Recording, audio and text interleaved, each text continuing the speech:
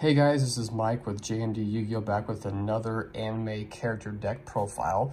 This one's going to be a little bit special. Uh, it's gonna actually going to cover a couple different characters. Gozaburo Kaiba, um, Adrian Gecko, as well as even the rare hunter that played the Exodia deck, because we are going to be highlighting an Exodia anime style deck. So of course that is going to have uh, the broken three pieces of each. So again, feel free to like, subscribe, and comment down below who you'd like to see next. But let's go and get started.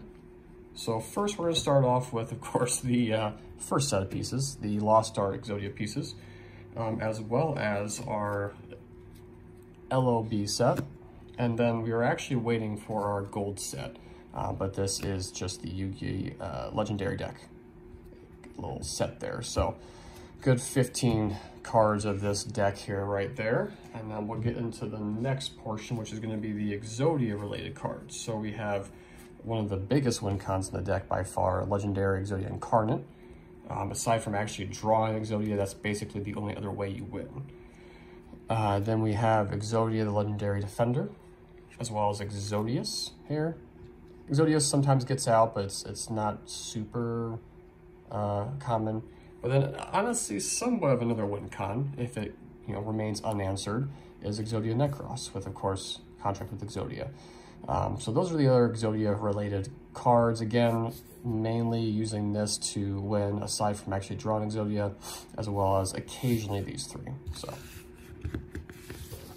and then let's get into the other few other monsters that kind of facilitate the uh, drawing of the deck, as well as again, you know, this goes off of some of the other characters in the story, as far as Gecko, Kaiba, Gozaburo Kaiba specifically, as well as the Rare Hunter. So some of these are kind of related with those deck uh, profiles. So we got a, a Mad Reloader, we have a Deep Diver, and then a Vortex Trooper. All cards that can help you facilitate drawing into more pieces and other ways of drawing into more and more and more. So that does it for the monsters. Let's go ahead and get into the spells and traps, which is probably the meat of it. Um, Started off with the Mystical Space Typhoon, just so you have one way of dealing with some sort of uh, spell and trap. And then a couple, actually more like a lot, uh, draw spells. We have Reload, we have Pot of Avarice, and then of course the banned, uh, Painful Choice. Again, Painful Choice is amazing, especially that coupled with like an Exodia Incarnate is bonkers. Just fill up the graveyard with a bunch of different pieces and then throw out a 4,000, 5,000 Exodia. It's pretty darn good. And then a few more draw-related spells. We have Heart of the Underdog. That can get out of hand pretty quick. Card Destruction, of course, classic. A couple more classics, Pot of Greed, as well as Graceful Charity. And then one more little card here. We have Pot of Duality, our last of the draw spells. And we also have a platinum rare, actually, uh, Swords Revealing Light. Of course, just needing to stall is pretty much the big focus of the deck. And then Ties of the Brethren.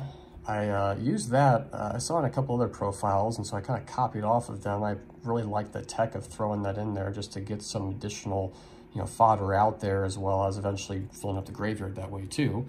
Um, another way of doing as well is Enchanting Fitting Room.